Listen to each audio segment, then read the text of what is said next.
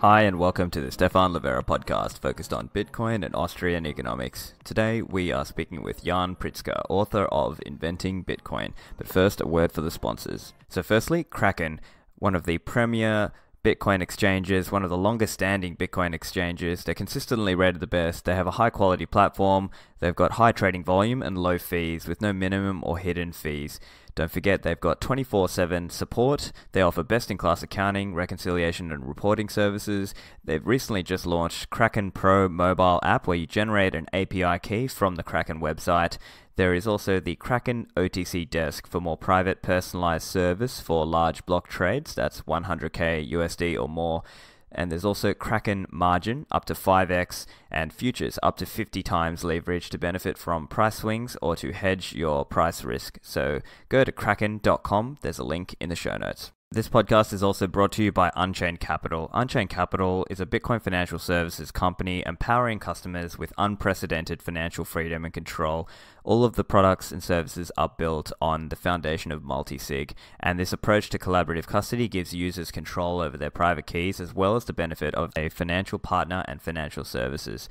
Unchained's 2 of 3 vaults are a great option for those thinking through how best to secure their Bitcoin for the long term. And if you ever need to access liquidity but don't want to sell your Bitcoin, Unchained's collateralized loans offer a unique option. All the Bitcoin is stored on-chain, dedicated multi-sig addresses, it's never rehypothecated, and you can share in the security by holding one of three keys. So I'm impressed by Unchained. They offer excellent services. They're releasing valuable content and open source tools. So I think you'll enjoy partnering with them for your Bitcoin financial services. Go find out more at unchained-capital.com.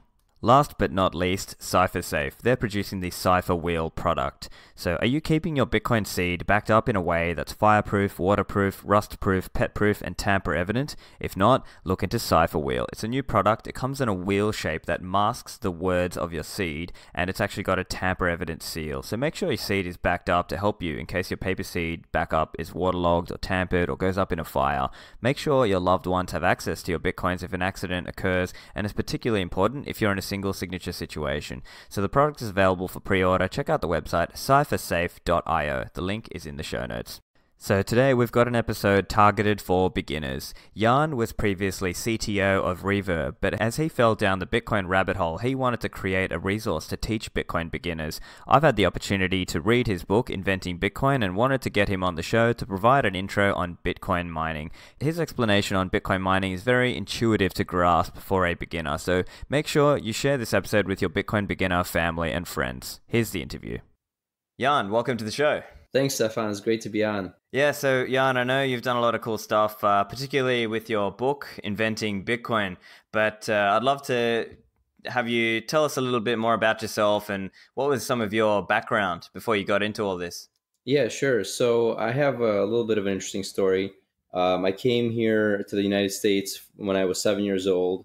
Uh, came from the former Soviet Union, and uh, with my parents, obviously. And I got into computers at an early age. My dad um, saved up uh, what money we had, a little bit of money, and bought me a computer. So I grew up kind of coding things like that, and then you know went to school for computer science and linguistics, and uh, thought I was going to do uh, AI and things like that. But then I really got into startups. So I spent about you know 15 to 20 years, depending on when you start counting, um, doing startups and um, being an early uh, co-founder, early engineer at a lot of startups. Um, my last one was Reverb, Reverb.com, uh, which was a marketplace for musicians. Basically, we sold gear, uh, drums, uh, guitars, things like that, and just got acquired by Etsy actually. So I'm real proud of, of the team there. Um, but around uh, 2016, I, I kind of started falling down the Bitcoin rabbit hole, as many people do once they really start understanding Bitcoin. Um, I had actually known about Bitcoin uh, since 2011 and i'm ashamed to say that it took me five years from knowing about bitcoin to actually like understanding what it was or even bothering to research it. Um, so you know it took me a while but in 2016 i finally kind of sat down and started looking at um, you know andreas's videos and reading every article i could get my hands on listening to podcasts uh, and really started getting educated on this. And you know very quickly became kind of the bitcoin guy in my group of friends obviously which a lot of people have experienced that sort of you know that effect, right? Um, and started shilling Bitcoin at every opportunity. It got really annoying, and um, decided that uh, you know I wanted to kind of figure out a way to to explain Bitcoin to people a little bit better. And um, I actually started giving talks at a few high schools. I had friends who had been teachers, and uh, based on these talks, I started realizing that uh, I wanted to have a really simple way to explain Bitcoin, and that's kind of how I, I came to the book. I, I, decided to to basically write down those thoughts, uh, try to make it as short as possible. So the book's you know it's about hundred pages. Um, try to make it as digestible as possible for the regular sort of person, but at the same time, uh, make it technical enough so that you can understand how Bitcoin actually works. Uh, so yeah, that was that was kind of my journey. I, am skipping over a lot of stuff uh, that happened awesome. in the middle. I kind of had, you know, uh, some time where I explored uh, blockchain and ICO and Ethereum and all that kind of stuff. Uh, but eventually came around to the idea that Bitcoin is the only thing that matters. So that's why I'm here. so Yan, you mentioned as well that you were from a former Soviet nation. So did that also play into your own understanding of Bitcoin as a uh, money? Yeah, I have to say that you know my experience was uh, in the Soviet Union. I, I, grew up there, so my experience was as a kid. And as a kid, I didn't really understand uh, that the environment I was in, you know, there was something wrong with it. Right? I just had a normal childhood. Uh, but my parents, you know, stood in line for bread. There was shortages of goods everywhere. Um, uh, but later on, when I got into Bitcoin, I started asking. I started sort of thinking back to what the Soviet Union was like, uh, and asking my parents about it. Um, and one of the most interesting things I asked them about was what happened to our money when we left, right? Um, and what happened, as it turns out, is that the government allowed us to exchange about $100 per person uh, worth of currency with the Soviet ruble um, at the government controlled exchange rate. Obviously, the government controlled exchange rate was not the real exchange rate that was on the street um, because nobody wanted those rubles. So effectively, we were able to keep $100 per person. And so when I heard that, I started really thinking about what would life have been like if we had Bitcoin um, at that time, right? We would have been able to put a password into our head and, and walk out of the country with all the Bitcoin in our head, right? So it started to really kind of connect for me that uh, Bitcoin is exactly that. It's not really, um, I mean, if it's an inflation hedge, maybe that's kind of a nice thing. But what it's much more, what's much more important about Bitcoin is that it's a freedom hedge, right? It's a it's a hedge against the government like wanting to take all your stuff or not allowing you to leave the country with your wealth intact.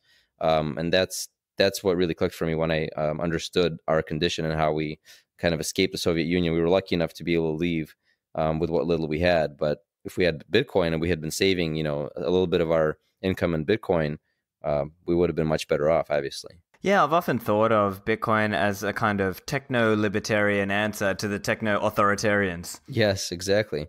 Right. It's exactly right. It changes the nature of the relationship, I think, between people and their government, right? Because um, in the Soviet Union, we were we were powerless to do anything because we had no economic freedom. So the government imposed the, the currency on us, right? The Soviet ruble, um, they managed the, the, whole economy. They planned everything, and so of course, the, all kinds of things were screwed up, shortages and everything. Uh, the the money was devalued many many times uh, by many factors of a hundred, a thousand, and so on. Um, but we weren't even allowed to own, for example, U.S. dollars. Right? It was complete currency control. Uh, and you see this even today. This is not like something that happened back in the day. This is happening all over the world. I mean, Argentina, Venezuela, countries like that, they're not going to want you to uh, flee the country with all that capital. So they need to lock things down. And when they lose that power, I think that really changes how people interact with their government. It's a, you know it puts a real check on the government's ability to even try to do something like this. What I really enjoyed about your book is that it was really short and gives a high level explanation on different concepts, and one of which is Bitcoin mining. I think it'd be good to walk through some of the examples from that. So maybe we'll just uh, role play. So I'm I'm going to be the Bitcoin beginner, and I'm going to ask you, Yan. So look, I heard about Bitcoin. Should I do Bitcoin mining? it's funny. It's a funny question because I actually have gotten this question from beginners. It's a very common co- question. Um, and I think the the problem with this question is the perception that Bitcoin mining is like, uh, well, it's it's honestly it's the media's fault because if you read articles, it says Bitcoin mining is done by computers by solving complex equations. Okay, so of course everybody's like, well, why can't you know why can't my computer solve complex equations? Um, and it really misses the point of what mining is, right? So I think uh, the first thing I actually start with is by giving people a realistic um, uh, a realistic view of what mining looks like nowadays. um, people have to understand that mining is an industrial process. It's done by fairly large companies and, and at, at, large scale with huge amounts of power. They need to be negotiating their power contracts to get a very, very cheap cost of power. They need to be buying their hardware in bulk to get cheaper hardware. They need to have, uh, you know, the right tax structures in place to be able to like write off that hardware, all this kind of stuff. These things need to happen uh, in order for mining to be profitable at scale. Um, so the answer to whether you should mine is no. Uh, as an individual, you should likely not mine. I mean, you may have some reasons to mine. For example, if you want to get your hands on quote unquote clean bitcoins, right? Because by mining, you are generating the bitcoins yourself, and that's kind of nice because uh, there you haven't logged into any exchange, you haven't interacted with anybody. You're literally generating them sort of out of thin air, but you know you're using you're using uh, your electricity to pay for that. Um, but the downside of that is that you're not going to be profitable. You need specialized hardware and you need very cheap power. So unless you're willing to pay for that sort of anonymity um, through essentially over overspending compared to what you would have paid for on an exchange, uh, I would not recommend mining. Right, and I think it, it also plays into that idea of what is the upfront capital cost required. Uh, mm-hmm. Typically, it might be much much higher than the typical individual would be able to spend. Right. I mean, uh, you know, even a, like a, a brand new uh, mining machine might cost you a couple thousand dollars, or even if you pick up a an old one on the secondary market, well, that old one will take a lot longer to pay off because you know it, it's not as efficient. Um, so mining is kind of uh, you can think of it as a race to the bottom. Um, everybody's kind of competing to be the most efficient uh, possible. So everybody's trying to get the fastest hardware, the cheapest power. And if you're not in that top echelon of people with the cheapest power and the fastest hardware and the best operations team uh, you know, being able to repair these things at scale is you're not going to be profitable. It's going to be very difficult for you to be profitable. Right. Okay. So uh, again, if I'm a Bitcoin beginner, I might have seen some ads online uh, about cloud mining. Should I do cloud mining, Yan? Um, again, uh, you know, I personally have never done cloud mining. I, I don't think it's it's wise uh, for a number of reasons. Uh, one is that historically, a lot of cloud mining companies have been scams, like just outright scams. Um, there's no real way for you to know what the company is doing with your money. You send them money and then you just, you know, you assume they're mining, but maybe they're just pocketing it and paying uh, previous users in a some kind of, you know, Ponzi scheme, right? Um, but as far as I know, there are a few companies that do quote unquote legit cloud mining. But even still, you're basically just splitting the profits that are already marginal with this other company, right? So they have to stay in, in profit, and you're locking yourself up uh, in a contract that you know will last a year or however long that contract is. And at the same time, the price of Bitcoin could go up, it could go down. Um, the hash rate, which is the difficulty, effectively controls the difficulty of uh, and profitability of mining, could go up or down. Things could change drastically, and it's you know you're basically locked into a contract. So from what I understand, I don't think anybody's ever made money on this, except for the money. of course, the company offering the services, I'm sure, is doing quite well. Um, but yeah, I, I wouldn't recommend it, especially not for Bitcoin. Okay, so so we're not going to do Bitcoin mining, and we're not going to do cloud mining. But just as a curious Bitcoin beginner, can you just give us an overview? How does Bitcoin mining work?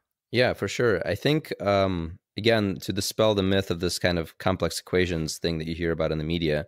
Um, mining is not an, uh, uh it's not a really a mathematical um, problem that needs to be solved what really happens with mining is that we are creating a lottery system because we need a way to distribute Bitcoin, right? So um, we're creating this new type of money. And the question is, how do we distribute it, quote unquote, fairly? Uh, well, we could have a bunch of people, you know, uh, sign up to to receive it, and we can give it our names, and you can say, you know, my I'm Stephan. Here's the proof of my ID. But the idea of of Bitcoin is that there is no central party in charge of this distribution, and so who is going to be responsible in giving out this money? Well, Bitcoin uses a very clever idea called proof of work. Um, and so the idea there is that we're going to distribute the Bitcoins using a lottery system. But instead of having a sort of centrally run lottery system like you might have uh, in your state run, you know, lotto, uh, here in America at least, we have, you know, the idea that you, you just basically buy a, a ticket and then, you know, they roll some numbers and they show them on TV and whoever won gets to claim the prize. We want to do the same idea in Bitcoin, but we don't want to have anybody in charge of running those numbers or uh, ascertaining whether you've won or not. So what Bitcoin does very cleverly is use the idea of proof of work.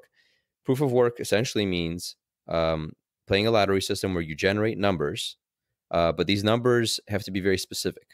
Um, the way it works is we have essentially uh, a very large space in which we are trying to find a very small uh, subset of things that that make sense. So, for example, it's like looking for a needle in a haystack. Okay, we're basically rolling a die and we're generating a random number and we're putting it through. It is a mathematical formula, but it's not a complex equation. It's just a very simple thing called a hash function. Um, and what the hash function does is it produces essentially it takes some data, which is the the transactional data that's happening in Bitcoin, things like people trying to send bitcoins to each other, uh, as well as um, you know the the bitcoins they're generating for themselves, and they're being put through this hash function to generate a very large number. And we're trying to find a specific number that's in a very very small range in a very very large space.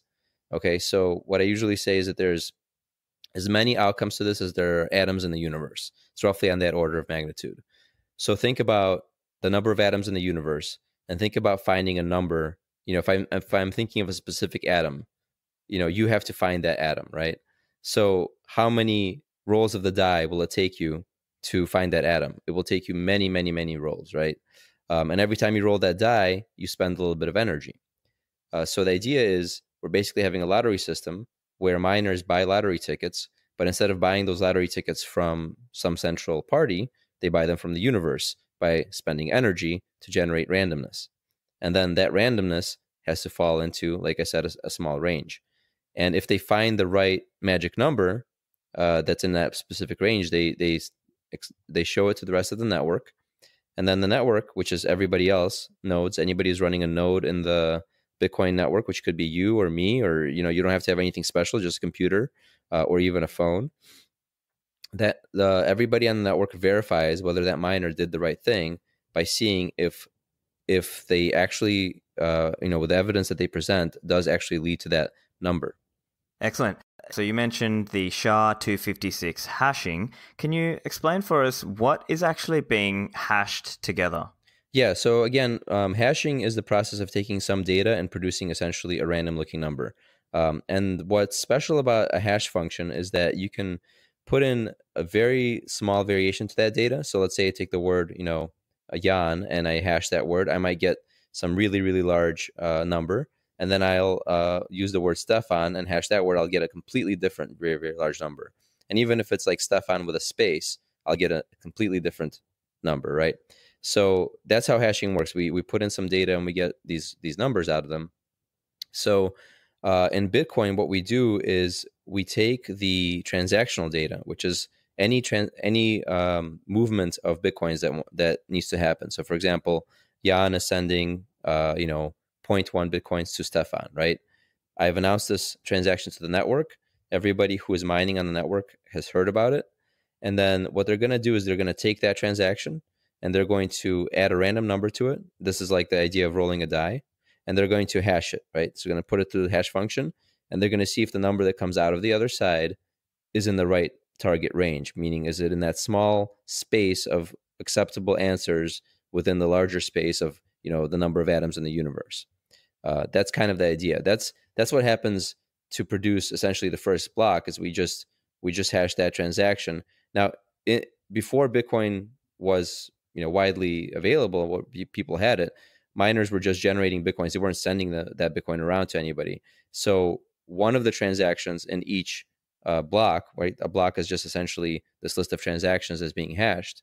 Uh, one of these transactions is a special one it's called the Coinbase, and that's the one that actually produces new bitcoins. So, as a miner, you essentially take any transactions that do want to go into the block, plus a special one that grants you uh, the block reward, the reward for mining that bitcoin, and uh, you hash that together to produce uh, a block. Now that's for the first block. Now every subsequent block does that as well, but it also uh, attaches a hash of the previous block eh, during that hashing process. So what that does is it creates essentially a chain, a block chain, if you will. This is where we get the word blockchain, right? Uh, it's a very sexy sounding word, but all it is is it's telling us that um, blocks in Bitcoin are linked together by their hashes, and the hash essentially is proving to us uh, what the contents of that block are, and that the contents haven't changed. And then every hash subsequent and every block subsequent to that block is telling us that nothing prior to that block has changed leading up to it. So we can verify essentially the all the transactions, where the Bitcoin was generated, at which block it was generated, at which block it was spent. We can kind of follow the trace of any Bitcoins that have ever existed in Bitcoin because of this idea that blocks are chained together. And putting on my Bitcoin beginner hat again, I might be thinking, well, hang on, Yan. It's all well and good that you've got to get within this certain target range, but couldn't I, as a miner, cheat that system? Couldn't I just write a number that's below the nonce? What's stopping me from doing that? Yeah, so uh, the word nonce you just used just to, for the beginners, um, it means a random number. So what we're doing is it's called it's number used only once. That's that's what nonce stands for. Um, so we're rolling this die, we're generating this number. Yeah, miners are welcome to do what they want, right? So a miner produces this hash. Um, what is a miner trying to prove in order to quote unquote win the lottery?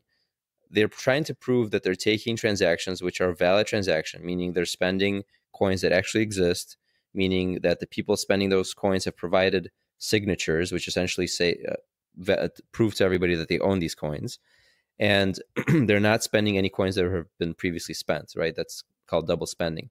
Those are kind of the basic things that make make transactions valid.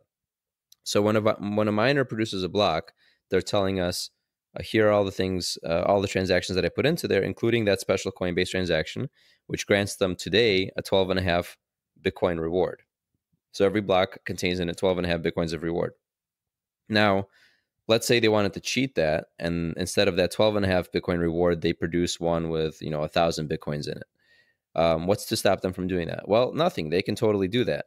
Um, however, when they broadcast that block, they the trick is they need to get everybody else on the network to accept that block and put it into their block database um, which means that any remember all blocks are chained together uh, to previous blocks right um, so the network comes to a consensus on what the previous blocks have been so if i as a miner produce a block that is essentially invalid because it doesn't follow the rules of bitcoin well no other miner will take that block into their database and so they won't mine on top of it. They will never link new transactions to it. Um, and also, if I, as a miner, uh, try to spend those coins to somebody who's running a node, so let's say an exchange or a merchant selling, you know, alpaca socks or whatever it may be, um, if you try to spend those coins, then that node will also reject those coins because they will never have that block in their database. Their node software will say, this is a counterfeit, this is a forgery, and we don't want it in our database. So no, nobody will ever consider those coins valid. How does mining work in terms of the reducing reward over time? I guess there's two components to that, right? So what we're referring to here specifically is the block subsidy component of the block reward. So why why is that block subsidy going down over time? Right. So we have two components to the block reward, as you said. One of them is a subsidy, which is these 12 and a half Bitcoins that we generate per uh, per block. And then we also have the fees, which are uh, essentially anybody who's sending a Bitcoin transaction can voluntarily select a fee, um, zero or more, and essentially miners decide which transactions they want based on fees. So it's kind of a, a market based uh, solution. But to talk about the reward, so what happened with uh, Bitcoin is Satoshi decided to have it distributed over time. Now we don't know the exact motivations of you know why he chose this specific uh, distribution curve. Uh, but the way that it's designed is that uh, Bitcoin's block reward is cut in half every four years. So the very first Bitcoin block that was produced had 50 Bitcoins generated. And that happened for the first four years. Um, after that, we went to 25 Bitcoins for the next four years, and then we went to 12 and a half Bitcoins, which is where we are now and we're just about to come up to uh, another halving, which is happening um, in around May of next year, which will bring us to six and a quarter bitcoins. So why why does this happen? Well, again, this is enforced by the rules in the software. So in the software, we know that um, that at a certain block height, we the block reward should be this or that, right? Um, and so if you try to produce a block reward that is outside of those parameters, you're going to get rejected. So today, miners have to produce 12 and a half blocks, uh, bitcoins per block. If they produce one that has, you know, 50, then that block won't be valid. That was valid, you know, uh, eight years ago or whenever Bitcoin was born, 10 years ago. Okay, so what are some other things that might make a block invalid? So, one, as you mentioned, is if the miner tries to give themselves too much reward, yep. uh, let's say, or too much block subsidy. Uh, are there any other things you can think of there that uh, would be make it an invalid block? And uh, would that, I guess, would that make it still Bitcoin, or could someone would that make it something else? Yeah, I mean, a, a block has a number of validity rules. I mean, there's there's uh, there's a lot of things, but I think the ones that I mentioned are probably the most important. Um, signatures are really, really important, right? Because the way that we determine who gets to spend bitcoins is that we essentially lock them up into boxes where people have the keys to them. Uh, that's what we call a private key. So when I send bitcoins to Stephan, Stephan, um, those are locked with Bitcoin uh, with Stephan's public key essentially. That's corresponding to his address. And then um, when he wants to spend those, he has to unlock them by providing the private key to that uh, mailbox. Now, he doesn't actually show anybody the key, he just shows people a signature. And a signature is kind of an encrypted version uh, of the key that tells us that he does, in fact, control it without actually revealing it. That's kind of in layman's terms. Um, so the the idea is if you're spending bitcoins, you have to absolutely provide the signatures, and so those are controlling who gets to move what, and those absolutely must be valid for the block. The block reward has to be correct, and obviously, um, any any miscalculation really in the block is could could trigger uh, it to be invalid. We actually recently experienced some miner that potentially had a bug in their software and granted themselves the wrong amount of reward, and you know that was like a fifty thousand dollar mistake right there, where they had generated a block and and basically lost all that money uh, mining and not having received the reward. So that does happen even by accident. Okay, so how about now the hash rate? So what is the hash rate and what's the relationship there with the dollar value of Bitcoin? Yeah, so um, as we said, you know, mining is an industrial process and, and it's about miners basically burning energy uh, and or burning electricity. And uh, what they're doing there is they're playing that lottery and they're producing uh, Bitcoin by by proving some to somebody that they've generated a number that is statistically improbable, right? So uh, the issue there is, well, what happens if we have more miners, right? So let's imagine that there's just you know 10 miners on the network and they're all mining away all have the equivalent amount of hardware they're all doing the same thing and then all of a sudden uh, the price of bitcoin is going up and so everybody's looking around they're saying hey this is really cool we can make a lot of money let's go make some money. So we have 10 more miners that join the network and they start mining as well uh, because they're, you know, they want to generate Bitcoins. So that would cause Bitcoin to produce blocks too quickly, right? Uh, remember, the idea is that Satoshi programmed in this every four years. We reduce the block uh, interval, and we want to uh, we want Bitcoin to take a long time to actually distribute all the way to the end. It actually will be somewhere in the year 2140 that we'll finish distributing it. So if every time the price goes up and more miners want to mine and we start doing producing blocks too fast, that's that's an issue, right? We're not we're not we're going to violate that issuance schedule. Uh, and one of the most important things about Bitcoin is its credibility with its monetary policy. So we know exactly how many Bitcoins are going to be issued at any given time. We know exactly how many total there will be, and all these kind of rules, right? So more miners come into the network. What happens? How does the network deal with that? How do we prevent Bitcoin from being issued too quickly. This is, I think, the most interesting and clever part of Bitcoin, uh, and it's called the difficulty adjustment. So, this idea of how many uh, how many uh, die rolls the the miners can do per second is called the hash rate, right? How many hashes we can do per second equals how many lottery t- uh, tickets we can buy per second equals how many bitcoins we can eventually produce. So, if too much hash rate comes on board, then the difficulty adjusts. So, what does that mean? Well, every 2016 blocks, which is approximately two weeks, we essentially look back in history and we say, well, how fast have we been producing blocks? Is it more or less than 10 uh, minutes on average? We want to have blocks be about 10 minutes apart on average. So if blocks are coming too quickly, then we're going to increase the difficulty, which means that we're essentially shrinking that acceptable range for what those lottery tickets can end up being in. So again, imagine we're trying to hit a number in the space of all atoms in the universe. And at first, the range is acceptable range is like from zero to a billion, and then we shrink it to from a zero to a million, right? We've dramatically shrunk that uh, that range, and now we've made it a lot more difficult to mine. And so essentially, that's what's happening with mining, is that whenever uh, the blocks are coming too fast, we adjust the difficulty upwards, and then essentially miners become less, uh, you know, less profitable because it takes them more hashes to generate the same amount of bitcoins. And then the same thing happens in the other direction. So let's say the price of uh, of the Bitcoin is falling, and now all of a sudden it's costing miners too much in hardware, electricity, operational costs, um, and they're starting to become unprofitable. And this this happens uh, especially in areas where, for example, energy costs can be variable. So let's say you're in a place that gets really hot in the summer, uh, energy costs go up, heating costs go up, and all of a sudden you're actually spending more money to produce that Bitcoin than than um, the Bitcoin's worth. Well, that's that doesn't make any sense uh, for you as an economic, you know, as a rational actor. So you're going to uh, potentially turn off those miners unless you want to uh, speculatively speculatively run them. But most people would just curtail at that point, turn those off, and then that means the hash rate is coming off of the network. So now all of a sudden the blocks are getting too slow.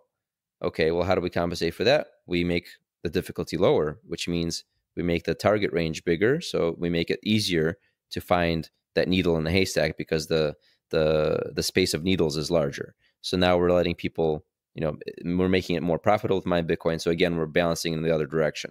And this is kind of a thing that happens all the time. Um, if you look at the uh, charts that estimate hash rate, and uh, to be clear, we um, we don't know what the hash rate actually is. We kind of estimate it based on the number of uh, blocks we're finding and, and how often we're finding them and um, that kind of thing. So we are uh, taking a guess at what the hash rate is, but we can kind of figure that out um, based on the difficulty and the and the blocks being produced. Um, and yeah, that that essentially uh, adjusts up and down all the time. Um, and over time, as the price of Bitcoin goes up, we just get more and more miners. So that's what we've been getting uh, for the last uh, 10 years almost uh, on an exponential curve. Right. Yeah. Uh, so I guess that that rise in the hash rate is coming from a number of things, right? So part of that is just better technology. Part of that is more people trying to do mining and more resources being devoted to mining. Which I guess some of that is getting into this concept of the business of mining as opposed to the technical right. component of it right. itself. Do you have any just comments for the beginner in terms of how that has looked over the history of Bitcoin, like how miners have tried to somewhat play the cycle? Well, um, I'm not sure what. Can you be a little bit more specific about that? Oh, just around how some miners are effectively they're sort of speculating into the oh, into right, future right. of yeah, so they have to somewhat speculate. Oh, okay, I think the hash rate is going to rise this much, and that's why I need to be careful what projects I undertake. Yeah, yeah, because yeah yeah, this number of machinery. Right. We've definitely yeah. seen. I mean, to you know, the history of Bitcoin uh, mining is started with just people on laptops. Right. We used to have was okay to mine with CPUs because the difficulty was very low, so everybody was just mining on their computer. And then eventually it turned into GPUs, which are you know graphics cards, and eventually we got to the point where everybody was manufacturing custom hardware. And this is again that sort of race to the bottom where everybody's trying to get as as efficient as possible because the more efficient you are at generating hashes, the more you can kind of outcompete the other guy. Um, but it's also possible to grow too quickly.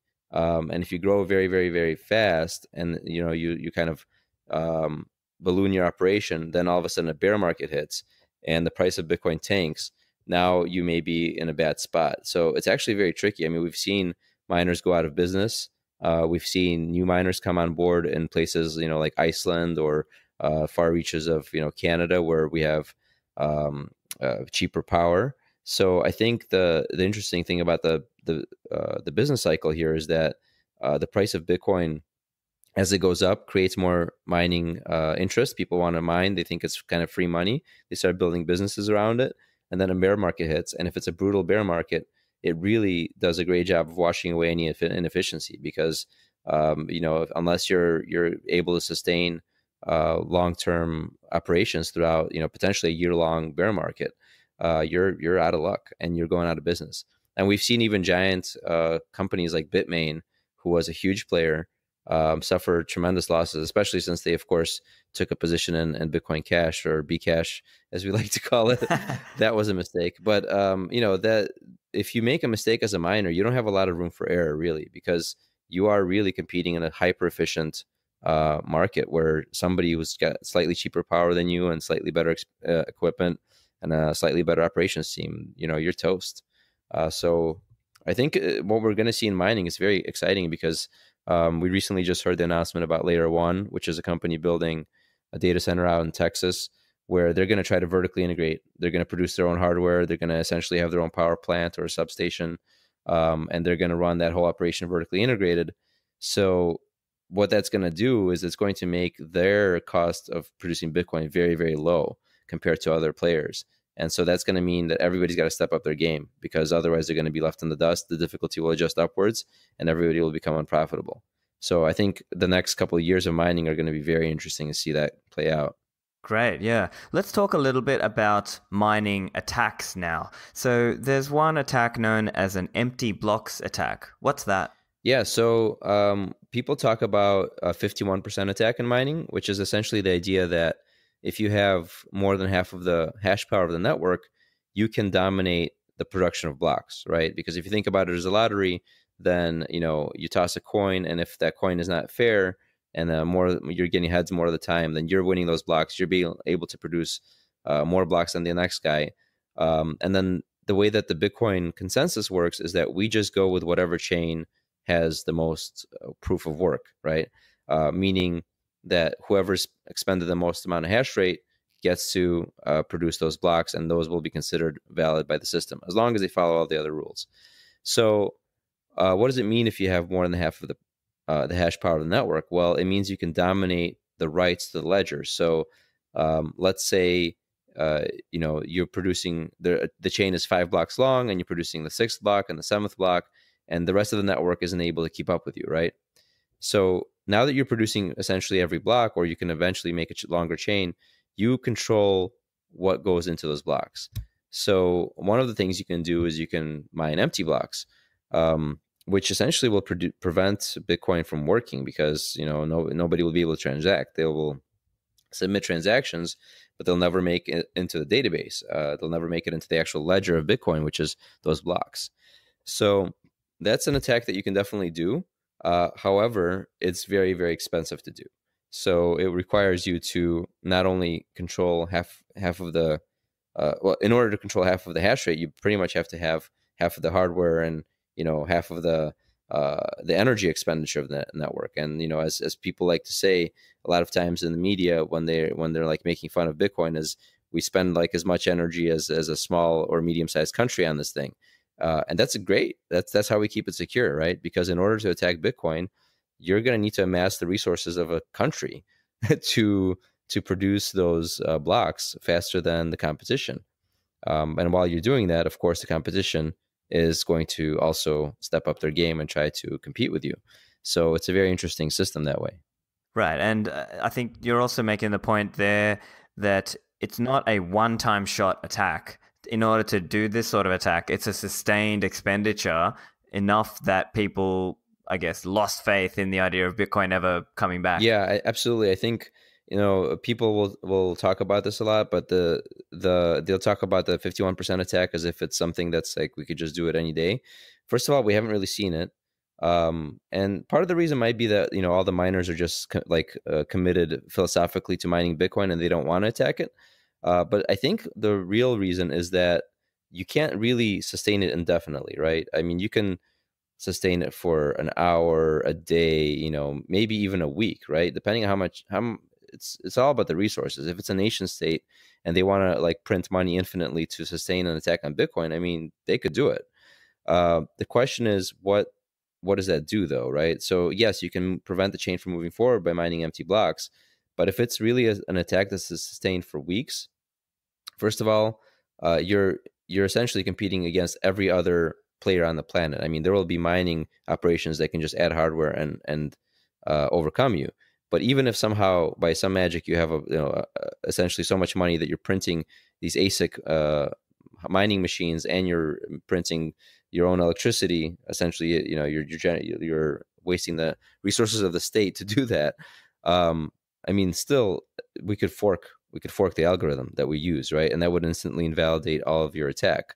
Uh, and so I think even the the fact that that kind of thing could be ha- could happen makes any kind of even attempt at attack sort of impractical because uh, you know what's the point? You're you may you get to do it once and then what you start all over right you have to build your hardware from scratch everything from scratch right it could be thought of like that's the that's the going nuclear option, right? right that's yeah. the if everything else fails, switch the proof of work algorithm. Yeah, and I don't think it's going to be easy. I mean, I don't think it's going to be easy to do that. But if Bitcoin is truly quote unquote broken and like there's nothing we can do about it, then I think we will find consensus around some variation of that algorithm algorithm that will, um, you know, allow essentially to re-rise from the ashes, and it won't be exactly the same. It'll be kind of a, a different uh, system, but you know, we will destroy the entire mining industry if we do that. Um, we'll have to start from scratch.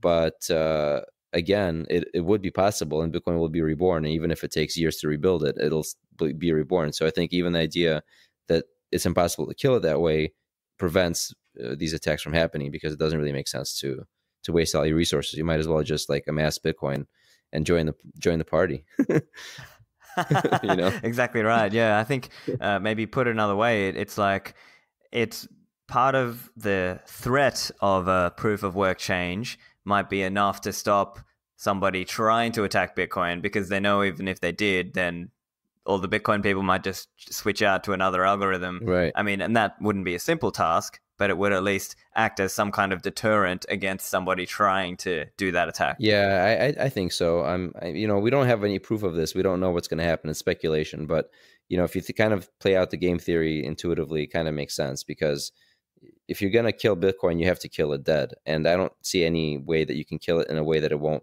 you know, resurrect in some other form, right? Um, so what's the point? right. Yeah. Uh, and I guess the other question that somebody might be worried about if they're a Bitcoin beginner the risk of centralization or you know and mining centralization and so I guess there are probably three main axes on which to consider this, right? So one of them is literally the mining pools. Another one is the geographic, you know, location of mining. And another one might be around the manufacture of the hardware of mining. So, do you have any thoughts just on that and whether we're seeing increasing decentralization in that over time? Yeah. So, with pools, um, too, for the newbies out there, a pool is basically the idea that, you know, because Bitcoin mining is a lottery, uh, it's possible that you can just play this lottery and never win it. So you could just sit there, you know, with your computer churning, uh, burning energy. You just never, you'll never land the block. Um, so pools have arisen as a way to share that risk. So people basically connect to the pool and they share their hash rate. And then if a block is found by a member of the pool, then everybody gets paid out proportionally to what they've contributed. Um, but we've seen over the years that pools have really changed. I mean, pools have come and gone. Um, there was a pool, I believe, in 2014. This happened uh, with Ghash that did amass close to 50% of the hash, but people left it. Um, so it's important to realize that pools are simply they're temporary structures, and they're essentially voluntary associations of people uh, of of smaller mining operations. So those mining operations, if they suspect the pool is acting maliciously or doing something they don't like, um, could simply leave. Uh, I think we're going to see uh, more interesting evolution of pools with uh, the Better Hash proposal. Um, right now, that's kind of a thing that uh, Matt Corallo put together. Uh, it's an idea that right now the pool itself decides what is going into the block that you're mining. So you're literally just being kind of a dumb, you know, hash producer. You're just you, they give you data and you hash it. Um, with Better Hash, you as the miner have more control over what goes into the block. So that prevents the pool from doing a lot of malicious things. So hopefully we'll see that. I know that there's a pool coming. I believe it's a Blockstream branded pool that's coming um, with better hash enabled. So uh, I think once that happens, we'll, we'll probably see miners uh, choose that because it's, it's way better for Bitcoin. Uh, it's better for decentralization. So I'm I'm hopeful that that will really change the pool story. Uh, because today it is true that there's probably three or four pools you could put together that would be uh, 50% of, of the hash rate. But again, pools are not miners, right? So they could, if we, if that were to happen and those pools were to collude in some fashion, um, those those miners would leave. And again, this is an attack they get to do once, and then it's quite known, and nobody will ever use those pools again.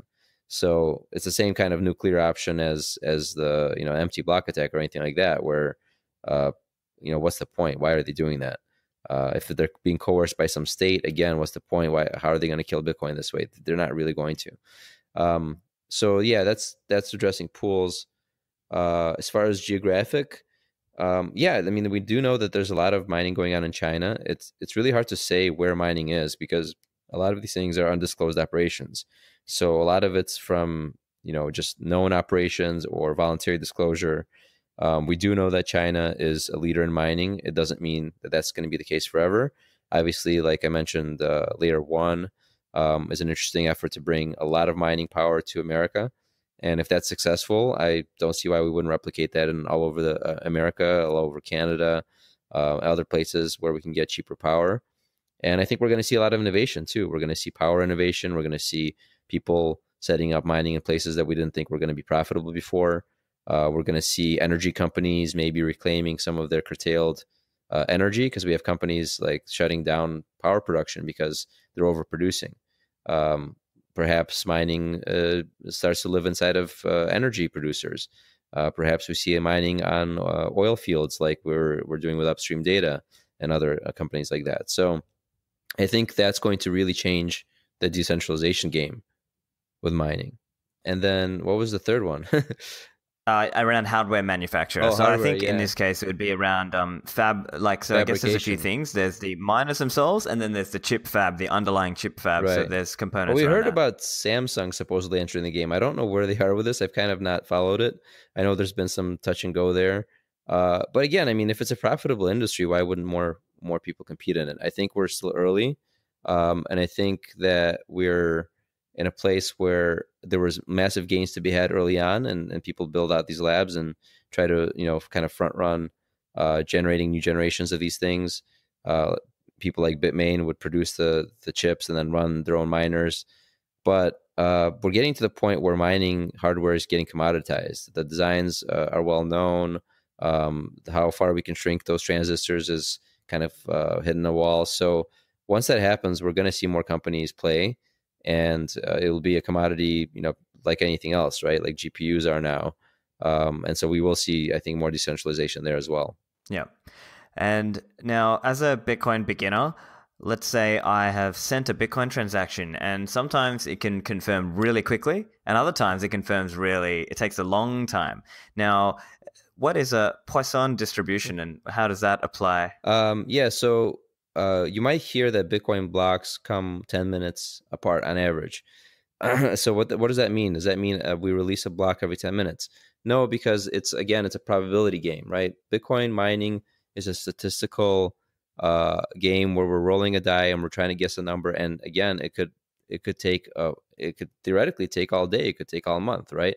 Um, so Bitcoin blocks are produced 10 minutes on average. If you take all the blocks and you average them out over, let's say, a two week period, like we do for the difficulty adjustment, you will find that it is about 10 minutes. But uh, unless, of course, there's been more or less hash power added or subtracted.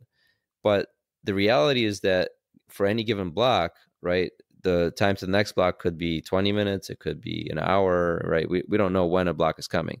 Um, so the real answer is like if you ask, you know, at this point in time, when is the next, when are we likely to see the next block? The answer is always 10 minutes, right? It's always going to take 10 minutes to produce the next block uh, on average.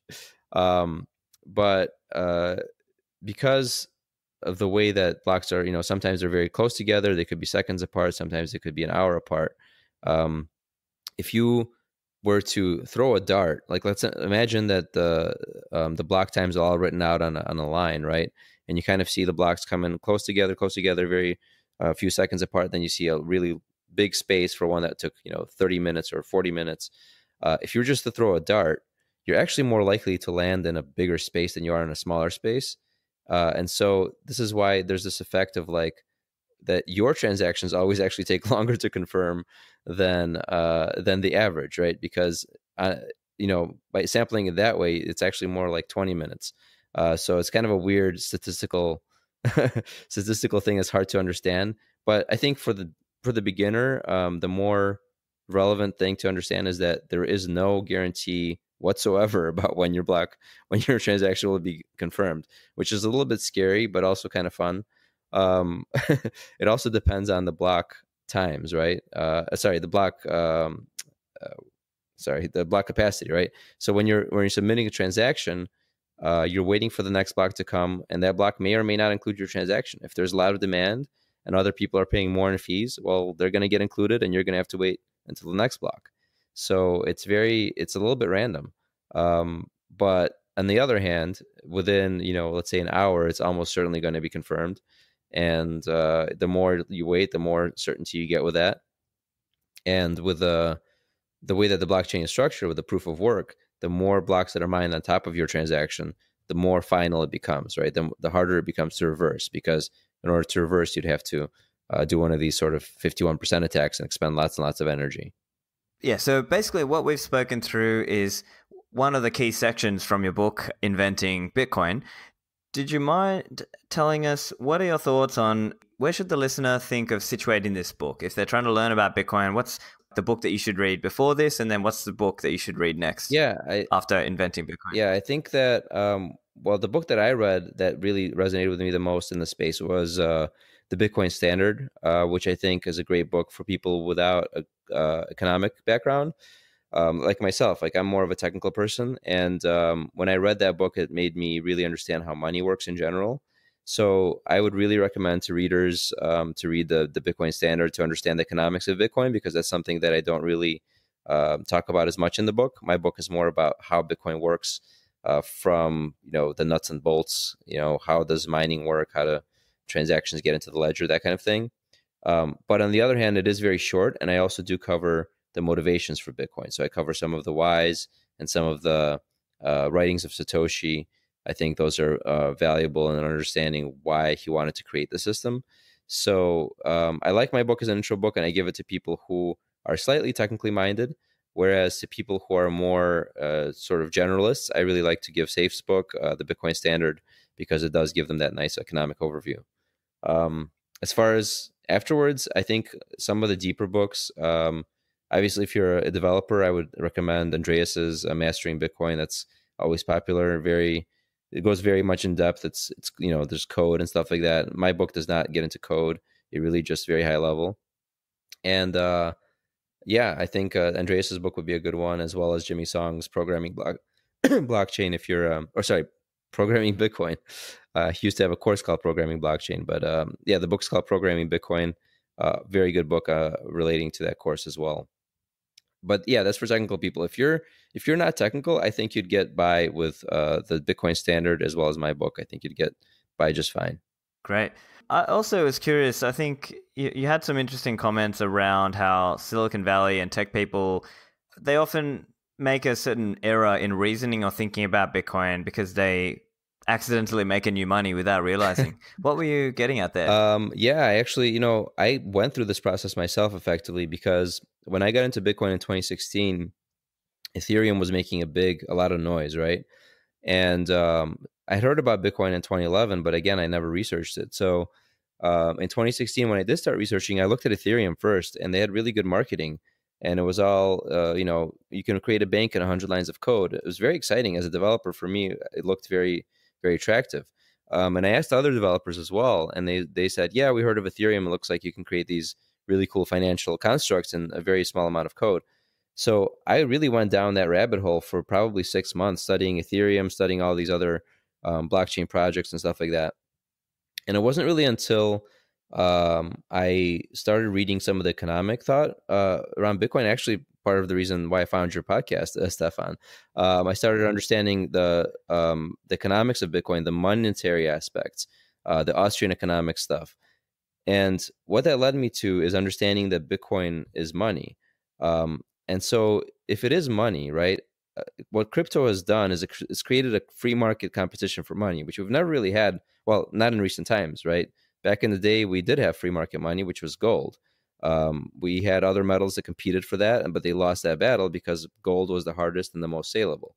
And so, if you think about that, um, in crypto, we have no barriers, right? We don't have a nation state. We don't have the government saying you must use this currency here. Because if you go to Venezuela today, nobody in Venezuela wants to use bolivars, right? that's something imposed by the government. If they could have their choice, they would much rather take US dollars. That's a much better currency, right? It's more liquid, it's more saleable, it holds its value better. Uh, and that's why the world, frankly, always uses US dollars, right? If there's a black market anywhere in the world, it's pretty much a US dollar black market because, um, as far as fiat currencies go, the US dollar is the most liquid, the most saleable, and the best uh, sort of value. But in crypto, we don't have nation states. So nobody's protecting one crypto from competing with another on its monetary properties. And so what does that mean? Well, basically, um, if you buy Ethereum, well, you either think that Ethereum is money, that Ether is money, right? Or you're speculating on Ether as a project of some kind, and you're eventually going to sell that Ether for money. Uh, well, what is money? Well, money is the most saleable and hardest thing in the free market, which is Bitcoin, right?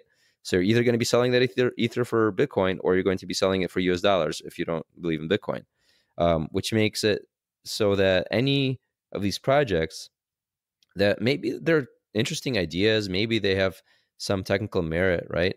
But by virtue of the fact that they produce a coin, something that trades like a money in a free market against Bitcoin, they're basically creating a losing proposition for themselves because nobody wants to hold those things long term. And this was kind of the idea of this, you know, people tried to create this utility token thesis where they said, well, people are going to hold these tokens because they're going to appreciate in value for this or that reason. But maybe in a closed ecosystem they would, but you're always forgetting that they're competing against Bitcoin, which is the hardest and most saleable money.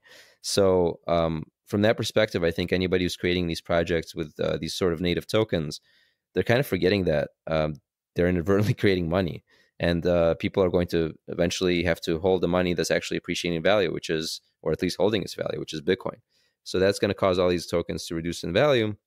And if that happens, then uh, especially if they're doing something like providing security for for the system, like Ether is supposed to be the money of Ethereum because it has to provide uh, security. Uh, it has to pay the miners, right? So that's security for e- Ethereum, and then um, it also has to act as money for any of these sort of DeFi uh, ideas that are floating around, right? Like people are saying we can issue loans on on Ethereum. Well, you have to lock up Ether and and pretend that it's money.